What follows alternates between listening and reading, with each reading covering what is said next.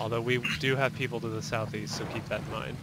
Yeah, um, guys, people landed roughly where yellow is.